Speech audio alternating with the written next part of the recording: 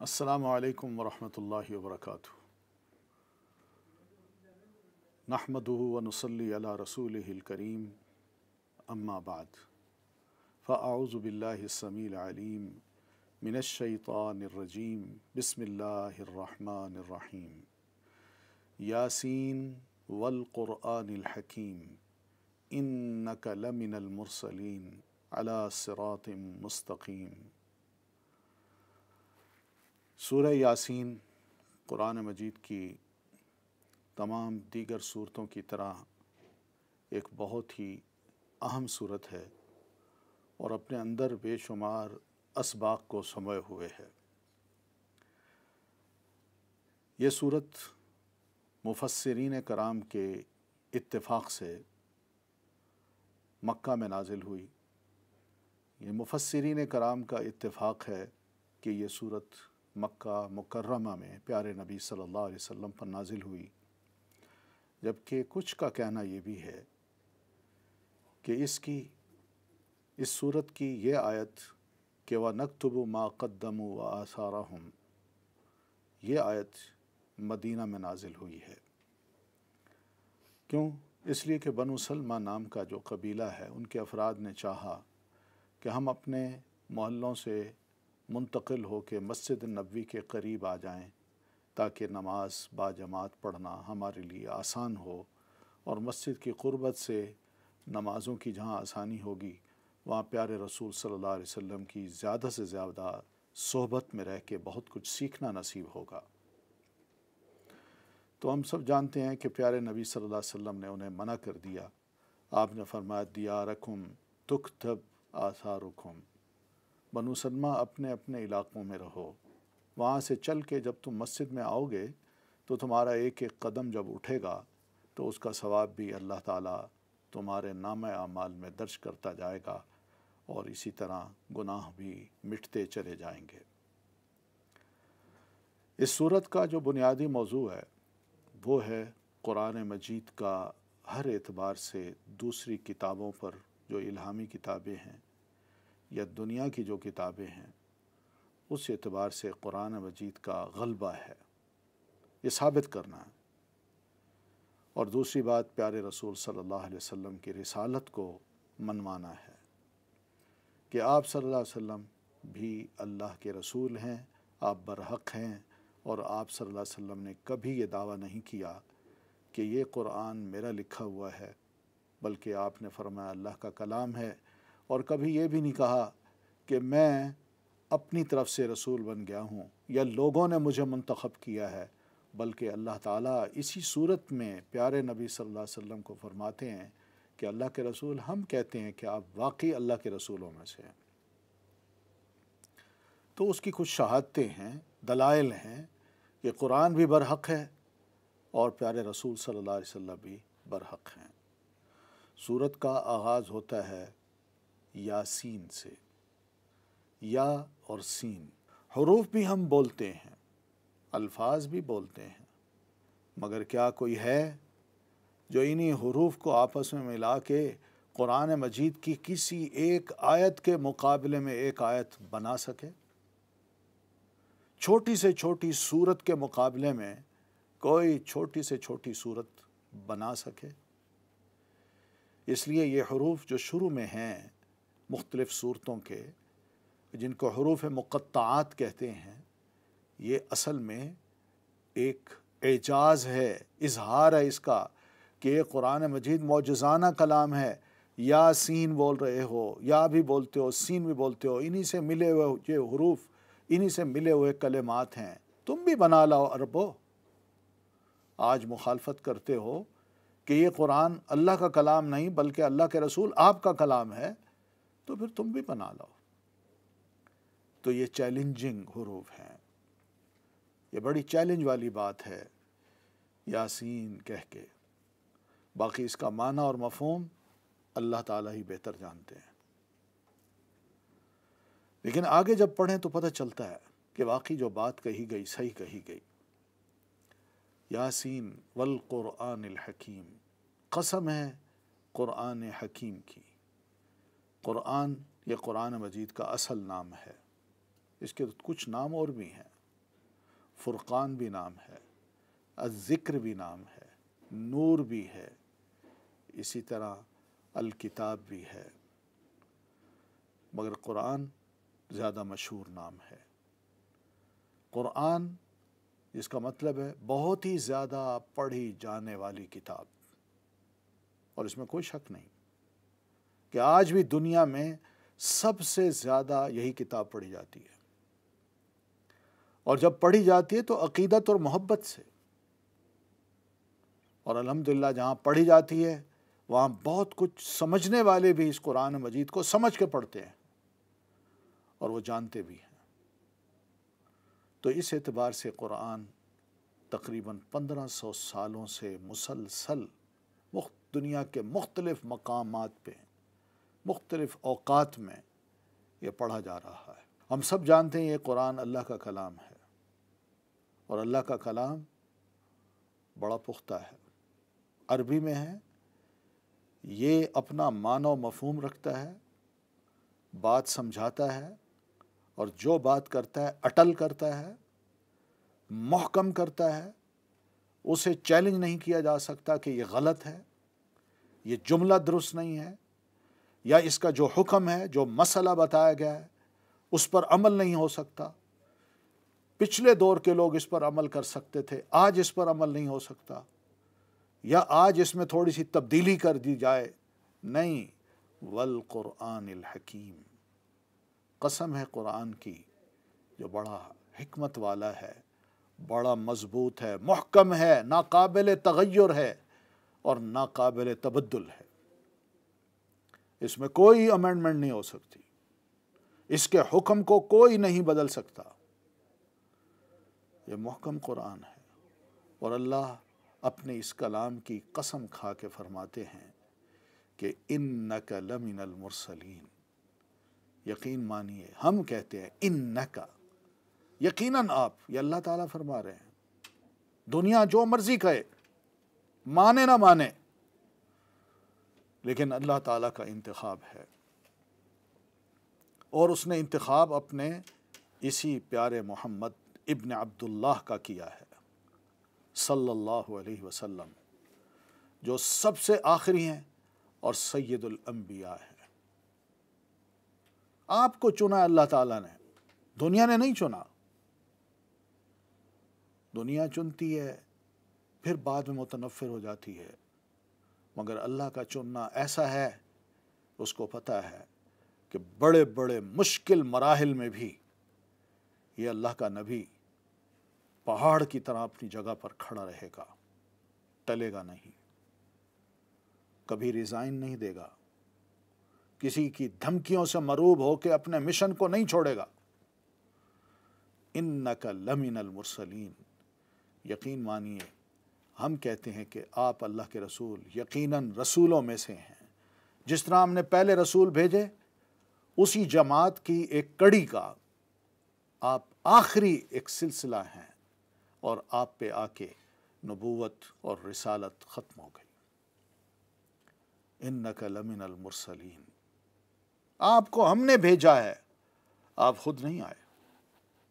ہم نے آپ کو اٹھایا ہے، ہم نے آپ پر وہی نازل کی ہے۔ ہم ہی نے آپ پر قرآن نازل کیا ہے اور ہم ہی ہیں جو آپ کے بارے میں یہ اناؤنسمنٹ کر رہے ہیں کہ آپ واقعی اللہ کے رسول ہیں۔ اور پھر رسول کیا کچھ کر رہا ہے؟ کیا اس کا اٹھنا، بیٹھنا، اس کا بولنا، اس کا عمل کرنا، اس کی عبادات، اس کے معاملات، اس کی گفتگو، وہ کیسی ہے؟ اس لیے کہ لوگ بولتے ہیں، لوگ گائیڈ بھی کرتے ہیں۔ لوگ اٹھتے بیٹھتے ہیں، معاملات بھی کرتے ہیں۔ مگر وہاں ایک کوشچن مارک ہوتا ہے کہ یہ معاملہ کیا درست ہے کہ غلط ہے؟ یہ گفتگو صحیح ہے کہ غلط ہے؟ اللہ فرماتے ہیں اللہ سرات مستقیم تم آپ آپ اللہ کے رسول بالکل سیدھی راہ پہ ہو۔ فوز فوکسڈ ہو، سیدھی راہ۔ یہ سیدھی راہ وہ ہے جو جنت کی طرف لے جاتی ہے، جو اللہ کی رضا کی طرف لے جاتی ہے، جس پر اللہ خوش ہے، اور جس میں اللہ یہی سمجھتا ہے، اللہ یہی چاہتا ہے کہ انسان اس راہ پہ چلے، کامیاب ہوگا۔ اور اگر اس راہ کو چھوڑ کے اور راہیں اپنا لیں، جو انسانوں کی بنائی ہوئی ہیں تھاٹس ہیں، نظریات ہیں، افکار ہیں، وہ بھی اپنی راہیں دیتے ہیں، دکھاتے ہیں۔ مگر انسان انسان کے لیے کوئی لاہ عمل مستقبل کا جو امن کا ہو، سلامتی کا ہو اور انسان کی کامیابی کا ہو، آج تک مل جل کے بناتا رہا ہے، مگر کبھی کامیاب نہیں ہو سکا۔ ہر دور میں اس کو، اپنے نظام کو، اپنے سسٹم کو، اپنے لائے عمل کو، اپنی فکر کو بدلنا پڑا ہے۔ مگر یہ فکر، یہ عمل ایسا ہے کہ جس پہ ایک بار انسان چلے تو واقعی وہ سیدھی راہ پہ چلتا چلا جاتا ہے۔ جس سے امن بھی نصیب ہوتا ہے، سلامتی بھی نصیب ہوتی ہے اور خیر ہی خیر نظر آتی ہے۔ تنزیل العزیز الرحیم۔ یہ قرآن تنزیل ہے۔ قرآن مجید کا ایک نام تنزیل بھی ہے۔ تنزیل کا مطلب ہے تھوڑا تھوڑا کر کے ضرورت کے مطابق قرآن مجید کو نازل کرتے جانا۔ اور اللہ تعالیٰ نے ایسا ہی کیا ہے۔ اس کو ایک ہی دفعہ، ایک ہی کتابی شکل میں نازل نہیں کیا۔ آپ پر جو نازل ہوتا، آپ صحابہ کرام کو بتاتے۔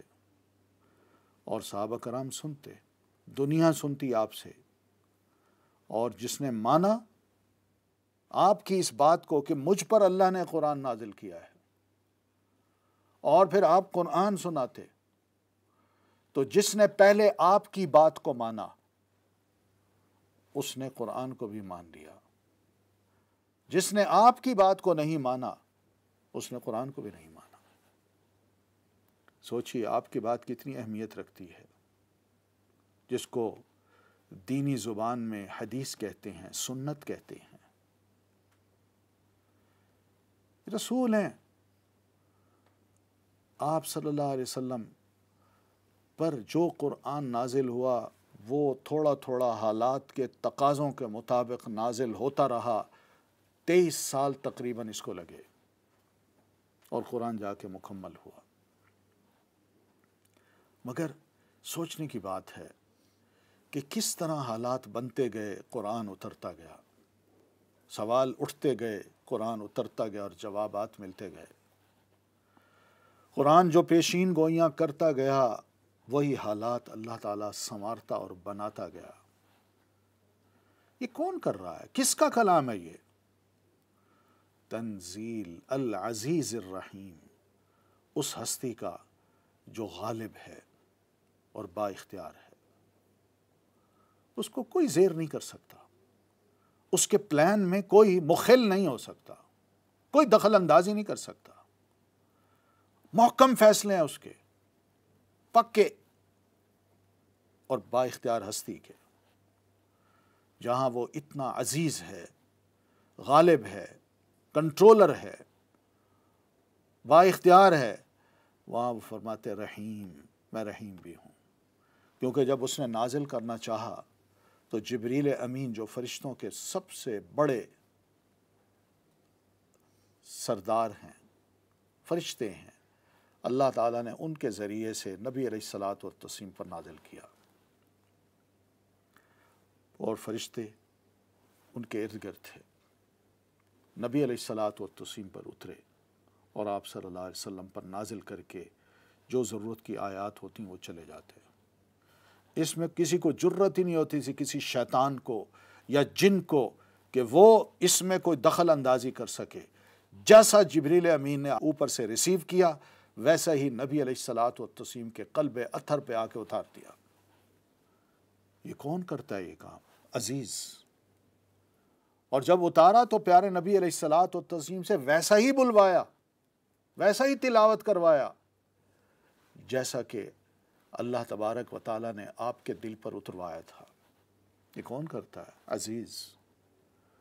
اور جب اس کو لکھوا لیا، پڑھوا دیا پیارے رسول صلی اللہ علیہ وسلم کی طرف سے تو دلوں میں، دماغوں میں اس کو یادداشت کے طور پر محفوظ بھی کروا دیا۔ یہ کون کرتا ہے؟ اللہ تعالیٰ۔ عزیز، اور آج پندرہ سو سال ہو گئے ہیں۔ اس کا ایک شمع بھی بدلا نہیں جا سکا۔ انا نحن نزلنا الذکر و انا لہو لحافظون۔ ہم ہی ہیں جو اس قرآن مجید کو، اس ذکر کو اتارنے والے ہیں اور ہم ہی اس کے حفاظت کرنے والے ہیں۔ یہ کون ہے؟ العزیز اللہ تعالیٰ کی ذات جو بڑی غلبے والی ہے۔ ہم انسان ہیں، غلط کام ہوتے ہیں، پریشان ہوتے ہیں، مصیبتیں آتی ہیں۔ کہیں امن، کہیں سلامتی محسوس نہیں ہوتی۔ یہ اس کی بڑی مہربانی ہے، اس نے رحم کیا ہمارے حالات پہ کہ ہمارے درمیان جو دشمنیاں تھیں، ان کو محبتوں میں بدل دیا۔ ہمارے درمیان جو رشتے تھے، ان کو تقدس کا درجہ دیا۔ ہم انسان کس راہ پہ چلیں؟ کون سی راہ اپنائیں؟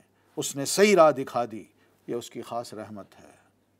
یہ اسی غالب، عزیز اور رحیم ذات کی طرف سے یہ قرآن مجید اتارا گیا ہے۔ یہ مذاق نہیں ہے۔ تنزیل العزیز الرحیم۔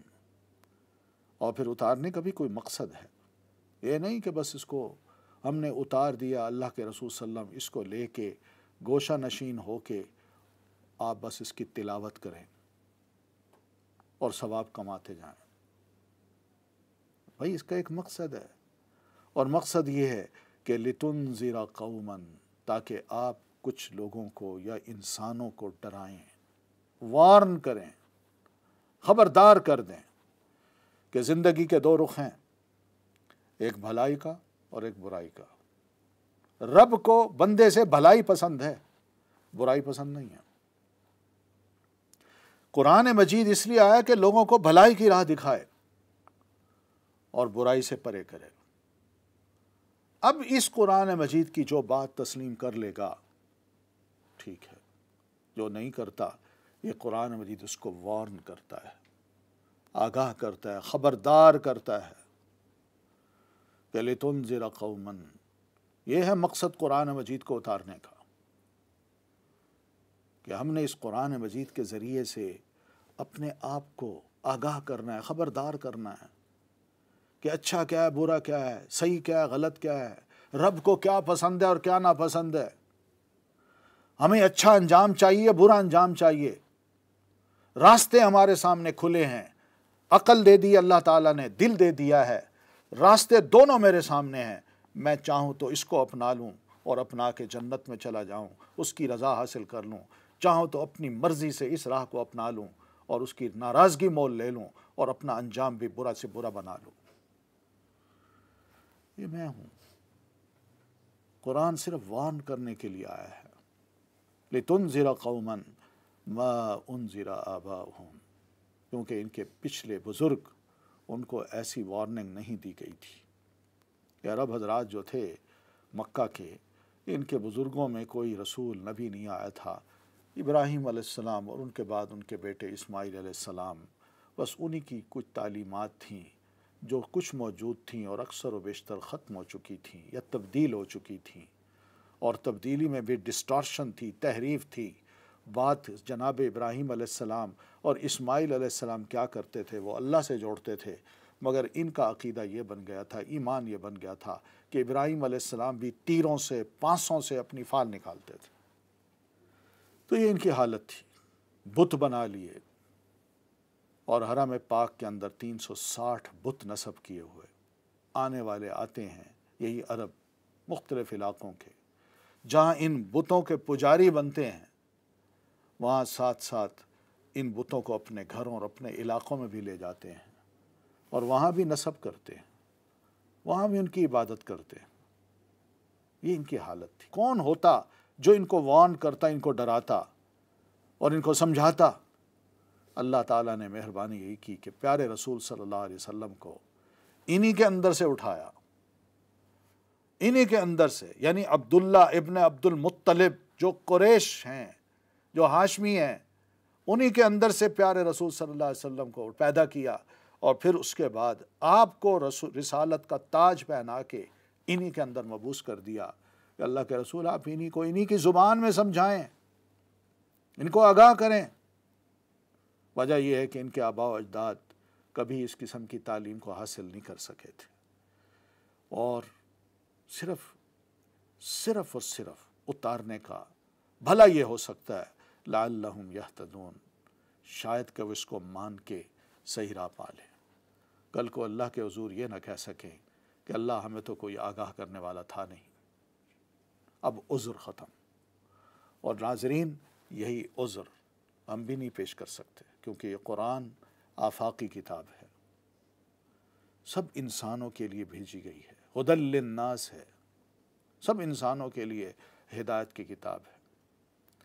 ہم بھی کل رب کے حضور عذر نہیں پیش کر سکتے کہ اللہ کوئی کتاب ہی نہیں تھی کہ جس کو ہم پڑھ سکتے۔ جو ہمیں وان کرتی، جو ہمیں آگاہ کرتی کہ بھلے لوگوں اچھے عمل کرو گے تو جنت میں جاؤ گے اللہ خوش ہو جائے گا اور برے کرو گے تو اللہ ناراض ہوگا، سزا دے گا۔ ناظرین، ہم بھی کوئی عذر نہیں کر سکتے۔ قرآن ایک حجت ہے اللہ کی طرف سے۔ اگر اس کو مان لیں تو یہ قرآن ہمارے لیے بھی کل رب کے حضور کہہ سکتا ہے کہ اللہ یہ مجھے ماننے والا تھا، جاننے والا تھا، میرے مطابق اپنی زندگی کو گزارنے والا تھا۔ اور اگر اس کے خلاف چلتے ہیں تو یہی قرآن کل کو ہمارے خلاف ایک حجت بھی بن سکتا ہے۔ اللہ میں تو موجود تھا، مگر اس نے کبھی مجھے پڑھا نہیں، کبھی سمجھا نہیں، کبھی جانا نہیں، کبھی میرے مطابق عمل کرنے کی کوشش ہی نہیں کی۔ تو یہ قرآن ہمارے خلاف حجت ہی بن سکتا ہے۔ اللہ کا کلام ہے نا۔ اسے ماننا ہر انسان کا فرض ہے، وہ خالق ہے۔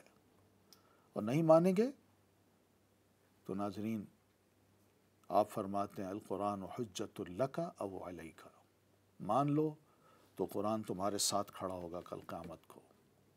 شفاعت کرے گا۔ اور نہیں مانتے تو قرآن تمہارے خلاف کھڑا ہو جائے گا اور مخالفت کرے گا۔ اور اس کی مخالفت لے ڈوبے گی۔